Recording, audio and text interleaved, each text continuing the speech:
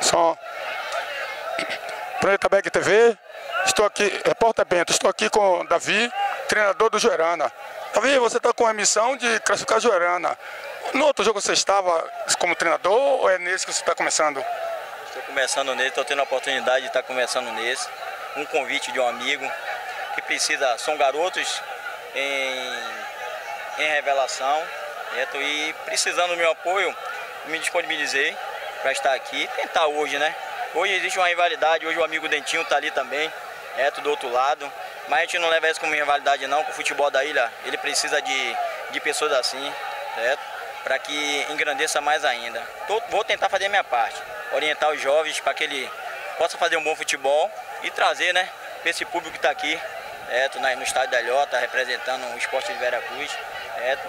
E que o Joarana tente, né, fazer o papel dele, certo? Chegar a mostrar um bom futebol e tentar se classificar, né?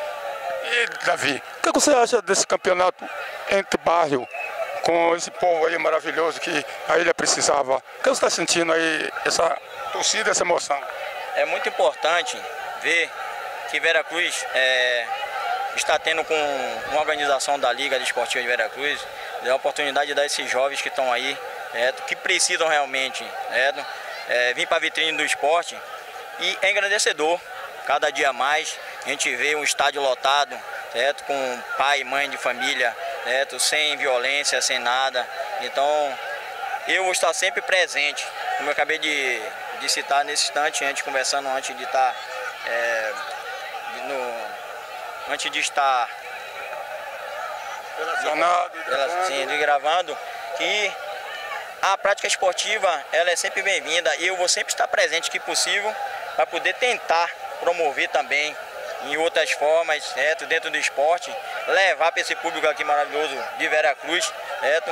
uma boa atividade esportiva, né? que é o futebol. Valeu, Davi. Obrigado, boa sorte para você. Preta Beg TV, estou aqui com Davi, o técnico Gerana.